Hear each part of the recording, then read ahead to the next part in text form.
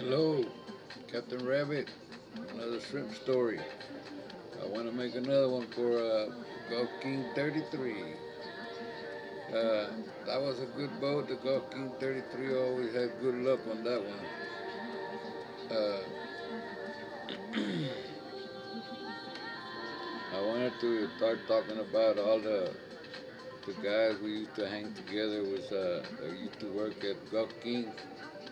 All the all the shrimpers that were good friends of ours, and uh, talk about every time we had a Super Bowl coming around or something like that, or a birthday or something, we would always get together and have those parties out there.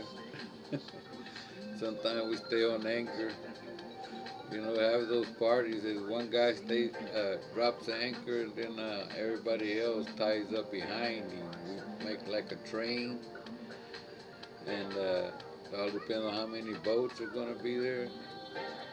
And uh, we're always having a lot of a, a good time, a party. Uh, you know, drinking beer and smoking stuff and stuff like that and uh, we always had a good time, man. I wanted to express that uh, about all those uh, those guys that uh, we used to work together there from Gulf King Company. That always had a lot of friends out there offshore, uh, which is good. So that's what I wanted to talk about in the Gulf King 33. But uh, we always had some good. Tony Garcia worked with me on that boat a lot too so uh, we always did a lot of clocking way up east and uh, on that boat right there uh, that was a good boat man. Uh, I'm not sure how long I had that one uh, uh, a little over a year or something like that. I think it was 85 1985 and then the following year 1986 that's when they gave me that that Gulf King 47, brand new boat. Uh, but uh, anyway, that's those times we were working on the Gulf King 33.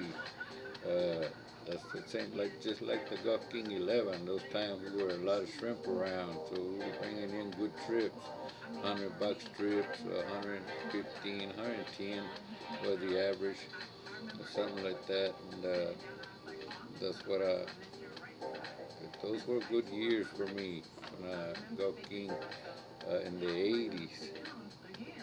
Uh, I did good until I, I got uh, got carried away with my addiction there and it affected me.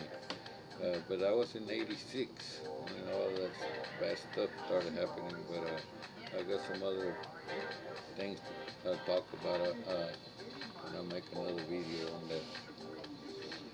But uh,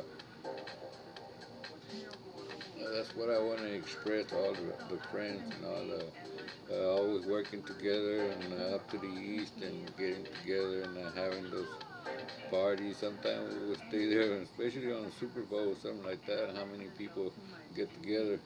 We would probably uh, stay overnight and uh, keep on partying the next day. Stuff like that. We would, we would do things like that, man. And, uh, was a lot of partying going on, but we were having a good time. I A good, a lot of good friends that would help us out, uh, get together and uh, help, uh, you know, like uh, fixing nets or stuff like that. We'll always get together and help each other out. But uh, okay, let me uh, see what I can do about another video here. Good morning.